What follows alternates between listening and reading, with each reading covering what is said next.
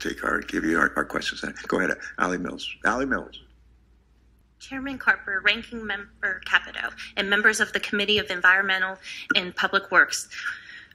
Thank you for inviting me to testify on this vitally important topic. My name is Ali Mills. I am the president of Plum Contracting in Pennsylvania and an active member of Associated General Contractors of America, AGC. Plum Contracting is a family operated business for 42 years located just east of Pittsburgh, Pennsylvania. In that time, we have become a high valued highway and bridge contractor in Pennsylvania while also having a successful subcontracting division installing highway edge drains along the East Coast. I want to start by thanking the committee for their work and leadership in the development of the IIJA.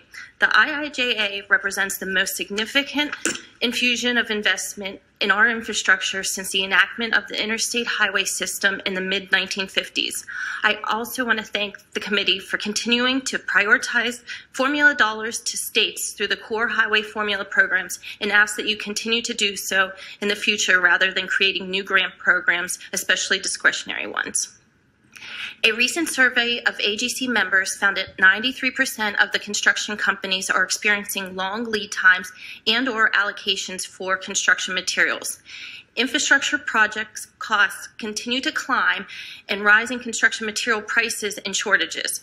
Material price increases have doubled or even tripled in some cases.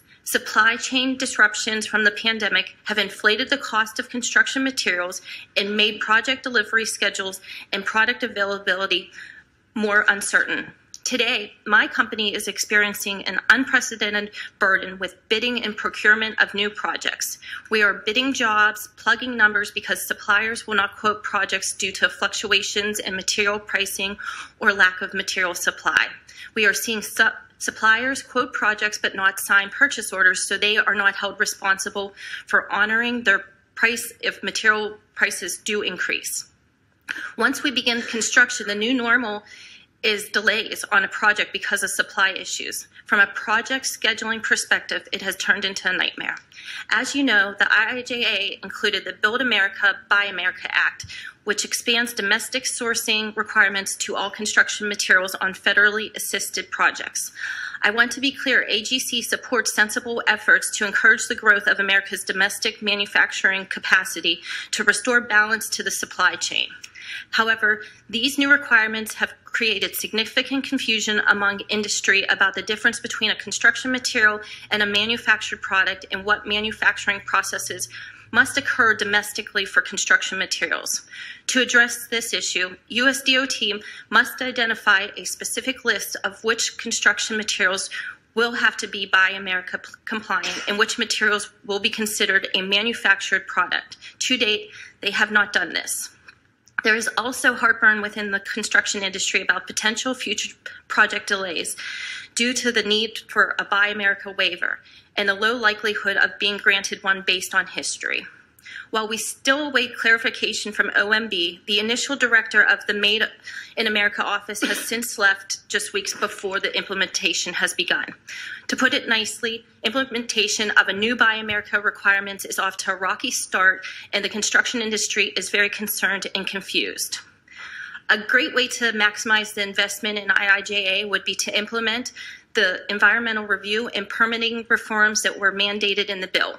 By implementing these provisions, we believe that the costs associated with delivering projects will be reduced without jeopardizing environmental protections.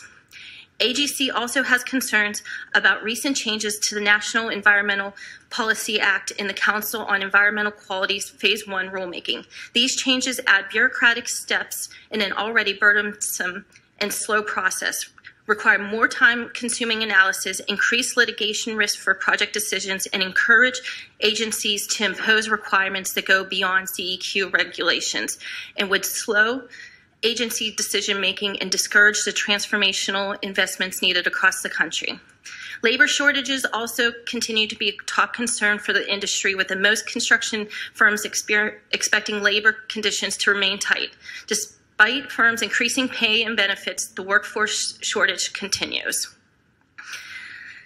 The industry is facing the effects of decades of policies directing students to attend four year institutions as the only career options. Again, I thank the committee for the opportunity to opportunity to testify today. I appreciate its continued efforts to help improve the nation's infrastructure and enact policies that create good paying jobs in America. I look forward to answering any questions. Thanks very much. I'm going to, when we do Q&A, I'm going to come back to your last point about uh, the kind of skills sets that we're graduating students from, from our colleges and university community colleges. It's a good point. I'll, we'll come back to that. Thank you.